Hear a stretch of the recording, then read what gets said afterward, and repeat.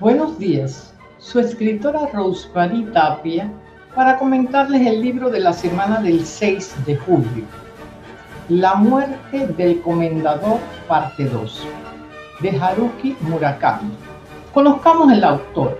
Haruki Murakami nació en Kioto el 12 de enero del 49.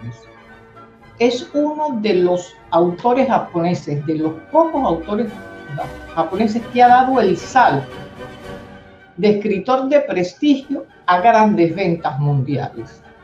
Ha recibido numerosos premios y ha sido postulado muchísimas veces para el Premio Nobel de Literatura. Ustedes saben, jóvenes, que cada vez que yo les comento el libro de un autor, ustedes tienen que buscar la bibliografía. La biografía y la bibliografía.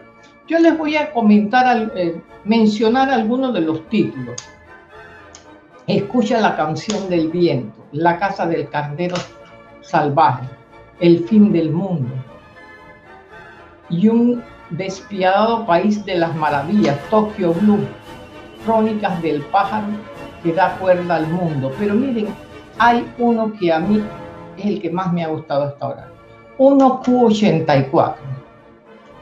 Él tiene muchísimos más. Tiene también ensayos tienes de qué hablo cuando hablo de escribir, se los recomiendo a los escritores.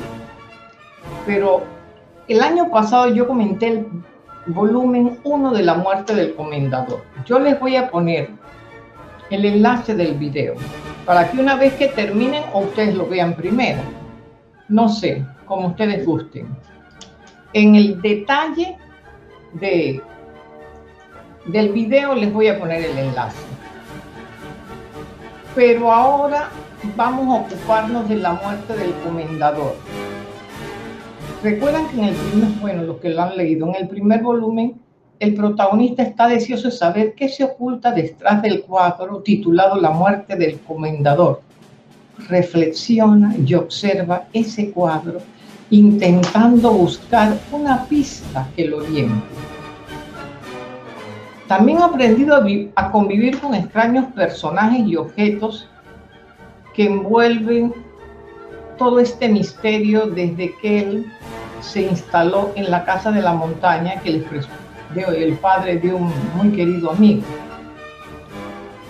Pero a petición de un vecino que resulta misterioso y extraño, ha empezado a esbozar el retrato de una adolescente él también es, para los que no lo han leído la primera tarde, él también es pintor, retratista. Pero cuando la chica, Mari, desaparece misteriosamente, él emprende la búsqueda. Y para encontrarla no dudará en enfrentarse a lo desconocido, a los terribles dilemas que las aventuras lo van llevando. Entonces comienza a investigar qué le ocurrió en el pasado al autor del cuadro de la muerte del comendador. ¿Quién es el hombre sin rostro? Este segundo ritmo, eh, libro tiene un ritmo trepidante, acelerado, lleno de suspenso. La incógnita sembrada en el anterior volumen va develándose y encaja en el lugar que debe ocupar. ¿Recuerdan cuando hacíamos los rompecabezas? Cuando encontrábamos esas dos últimas piezas.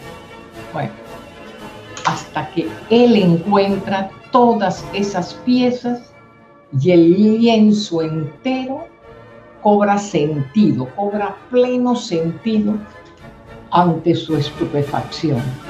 Miren, no dejen de leer la muerte del comendador. Pero comiencen por el volumen 1. Les aseguro que no van a quedar frustrados. Aquellos que han leído 1, 1Q84, 1984, que tiene tres volúmenes, él habla de unas personas muy pequeñas, The Little People. Ahora retoma a los The Little People que esa vez quedaron en suspenso Así es que esa es la recomendación que les hace Rosemary Tapia.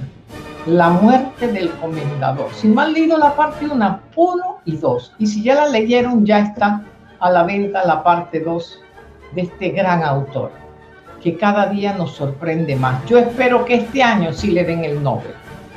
Muchas gracias. Y jóvenes, la recomendación de siempre, a leer incansablemente, como si la vida y el éxito dependieran de eso, porque depende.